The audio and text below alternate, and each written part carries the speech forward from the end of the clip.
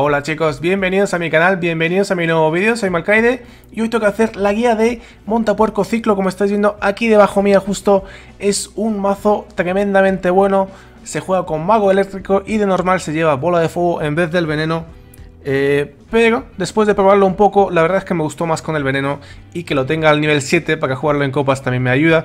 Aún así, si tenéis la bola de fuego mejor, usadla. Las demás cartas son más o menos necesarias para jugar este mazo específico se pueden usar arqueras en vez de mago eléctrico, pero también es que cambia el mazo. Entonces, como que sí, está bien, porque es un mazo nivelado, pero no es, no es este exactamente.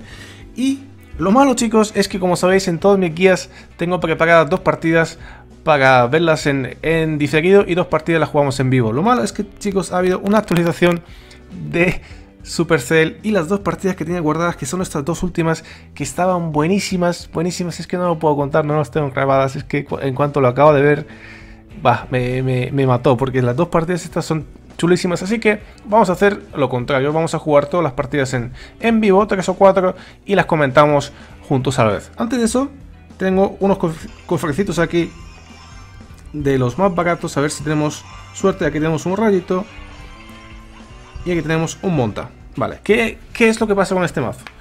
Simplemente, simplemente hay que ciclear y castigar al rival en defensa. Como el mazo lo tengo a un buen nivel, como habéis visto, un, nivel bastante bueno, lo vamos a jugar eh, en copas, ¿vale? Así que nada más empezar, nos ha tocado contra un jugador hispano que se llama Fear. Y vamos a empezar con un montapuerco en la esquina que salte. Vamos a ver si con un veneno nos va a hacer falta. Sí, metemos el veneno ahí. Matamos a los esqueletos, matamos a las arqueras y pegamos tres golpes con el muertapuerco. Vale. Vamos a poner esto aquí. Ok. No sé cómo afrontar esto. Supongo que será así. Vale. Vamos, maguito. Haz tu trabajo. Ahí está.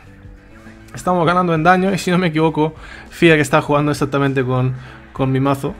Que no, no puedo decir que es exactamente mío. Pero que en parte es algo que venía... Vale. Que, he hecho una guía con él y que tiene más de 100.000 visualizaciones, entonces la gente lo conoce. Pues, bueno, me he empanado un poco porque como que no tengo muy claro cómo, cómo defender esto. Así que vamos a defenderlo así. Vale, el montapuerco tiene que pegar dos veces.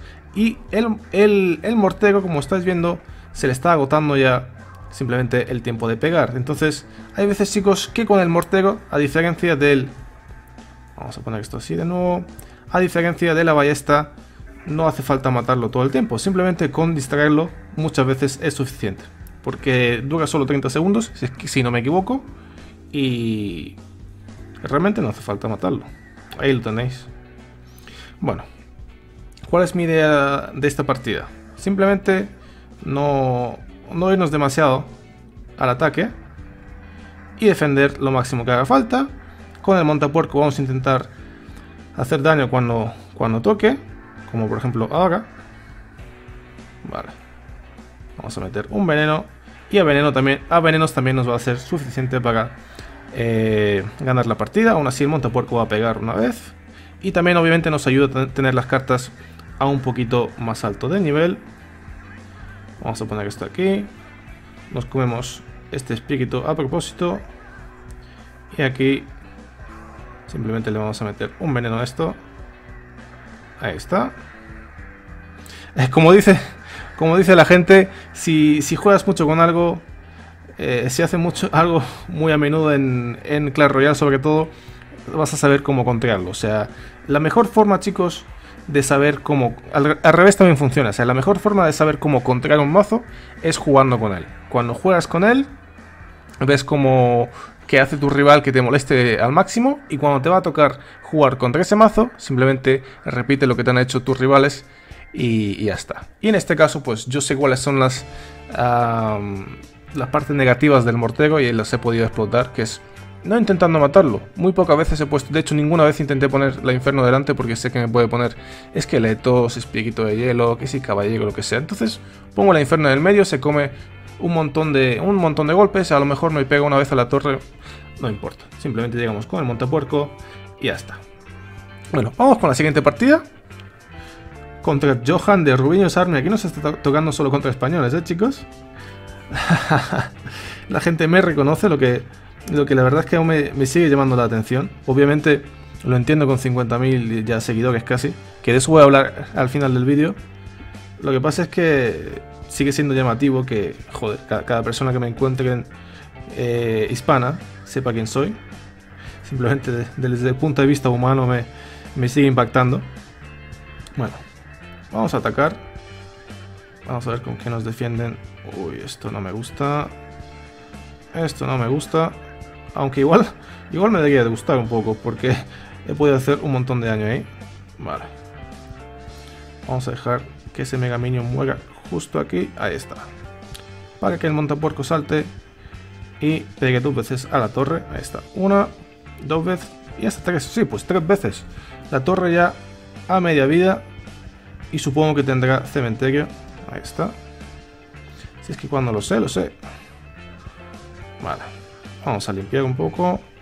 Vamos a limpiar aquí atrás. Congela. Que puede que me haga bastante daño. Bueno, queda solo un esqueleto. Y defendemos. Digamos casi su torre no debería tener mucho elixir. Desde luego no, debería tener elixir para un bolego, entonces la torre de la izquierda también se va a llevar bastantes golpes. Vamos a meterle un veneno a esas arqueras. El Mega Birro ha llegado a pegar, que hasta cierto punto no importa tanto. Y eh, una cosa importante para los mazos de cementerio. Si te tiran una torre, se hacen bastante peores. Obviamente porque pega la torre de rey a defenderlo. Y eso cambia bastante. Y en este caso, pues eh, nos da bastante valor castigar la torre de la izquierda también. Vale, teniendo en cuenta que usa el bolego en este lado, volvemos a ciclear un montapuerco que nos va a defender con la tumba. Le metemos veneno a todo eso. Ahí está. Uy, el bolego pega. Bueno, no, ha llegado a pegar. No hemos llegado a hacer bastante... O sea, no hemos llegado a hacer nada de daño. Vale. Lo malo es que ese bolego se está entreteniendo ahí. Y eso no nos conviene. Y la otra cosa mala es que el montapuerco... Vale. Congela. el montapuerco tiene que llegar. Lo malo es que también llegan sus defensas. Ahí está. Vamos a congelar todo eso. Mm, mm, mm. Estamos a un veneno tronco. Lo malo es que ahí está. Estamos defendiendo bien. El caballero tiene que estar distrayendo al caballero. Ponemos los esqueletos. No, no, no me jodas, no me jodas, no me jodas. Qué mal. 3, 2. Bueno, a lo mejor llegamos sin, el, sin el, el, tronco, pero esto ha sido bastante fail. Esto ha sido bastante, bastante fail. Ponemos esto aquí. Vale. Ok. Ok, ok, ok, ok. No defendemos. Y digamos la torre que se iba a quedar uno de vida. Bueno, buena partida. Bien jugado, casi la liamos porque eso al final me, entró el miedo y dijo, hostia, voy a... ¿Qué pasa? Imagen. Bueno chicos, se nos congeló la imagen como visteis, eh, justo cuando se acaba la partida, el tronco ese obviamente llegaba y tiraba la torre que se quedó uno de vida, la verdad es que quedó bastante guapo, aunque sea un fallo técnico que nunca, nunca viene bien. Pero bueno, la partida estuvo guapa y ya que, ya que está casi completa, pues la dejamos lista y vamos con la última y tercera partida para no hacer el vídeo demasiado largo. Yo creo que la idea la, vais pillando de cómo funciona este mazo, pero voy a meter una bola de fuego que veáis cómo funciona también con la, con la bola de fuego. La idea es exactamente igual como cualquier montapuerco ciclo. Hay que ciclar el montapuerco a, ambas torres y defender, y defender con todo lo que puedas. teniendo en cuenta que yo uso mucho el minero. La gente piensa que yo soy un jugador de, de log y todo lo que sea. Y realmente el mazo que mejor llevo es el de montapuerco. Vale. Vamos a meter esto aquí. Vale, vale, vale. Eh, eh, sin nada de eso, ¿eh? Sin nada de eso. Vamos a limpiar. Vamos a limpiar. Ahí está. No llega a pegar. Muy bueno. Y, jugamos contra un tercer latino seguido contra Catherine López 10 de Latinos Power. Un saludo si, si ves este vídeo después. Que supongo que sí. Todo el mundo me ha reconocido, como dije antes. También mando un wow. Vamos a mandar unos deditos.